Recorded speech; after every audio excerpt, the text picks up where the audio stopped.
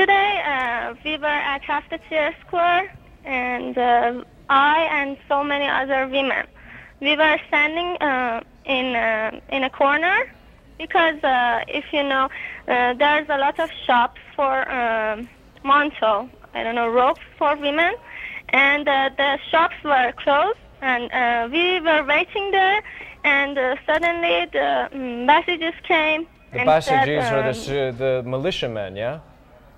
Yeah, and they said go uh, go away. And uh, there was an old uh, woman.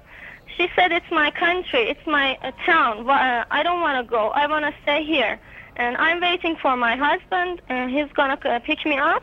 Uh, but he said uh, he said three times that go away, and uh, they didn't listen. And uh, suddenly uh, they hit uh, the woman so badly, and she was injured. The old woman. Yeah, she was injured, and other uh, three other women uh, that were standing there. We ran away, and they screamed a lot, and I helped one of them. And uh, I understand that were you were you going to attend uh, this uh, memorial, this demonstration uh, after this woman Um, Neda was yeah. killed? Yeah, I was. Uh, I helped her go home, and I uh, returned there, uh, and they said uh, we were um, um, staying at the bus stop because uh, they couldn't uh, say anything when we were at bus stop, and we said we want to go with uh, by bus, and uh, when a bus came, uh, they forced us to uh, take that bus because they said if anyone uh, uh, doesn't take that bus, we go- uh, we're gonna hit hit uh, her or her or him. Why are you going out into the streets? Why are you trying to at- uh, attend these demonstrations? Because I think it's my um, responsibility. Because uh, many of my friends are dead in this um, in this situation, and uh, when I stay home, I'm worried about my friends, other women, other boys that are killed, that are hit, and I think uh, I should go. Maybe I can help them. Do you know your foreign ministry called the elections this month a precious gem? They said they were wonderful and that they, they were successful. What do you think about these presidential elections?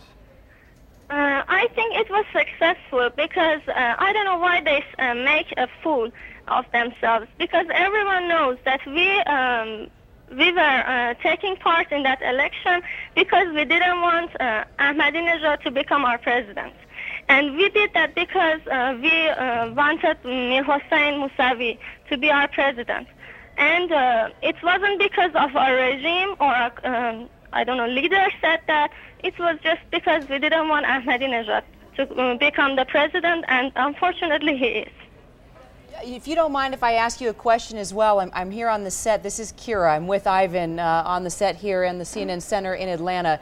Do you think that men there in Iran are, are looking at all of you differently now? Your role, your ability to come out and protest, to, to take a stand, to stand up against the violence. Do you think you're being viewed differently uh, by uh, the just the average man there in Iran?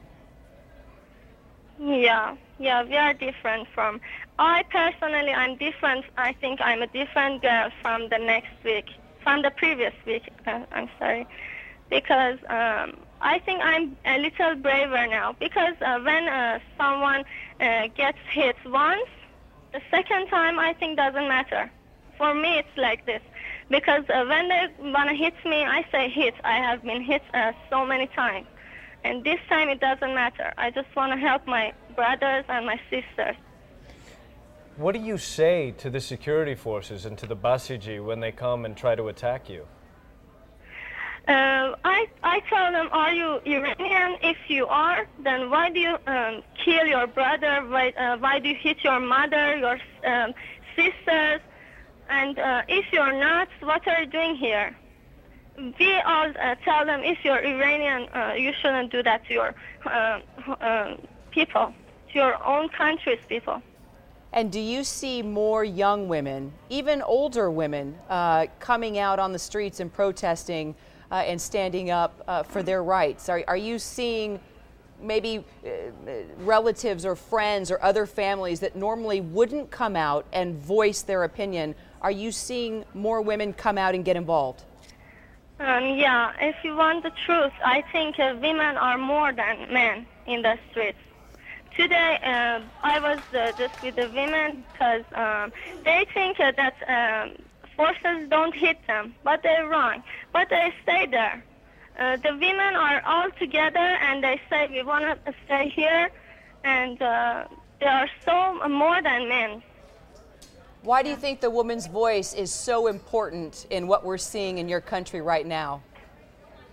Because I think uh, till now uh, the women ha- didn't have a chance to express themselves, to say uh, that uh, we are um, important in our country's um, future.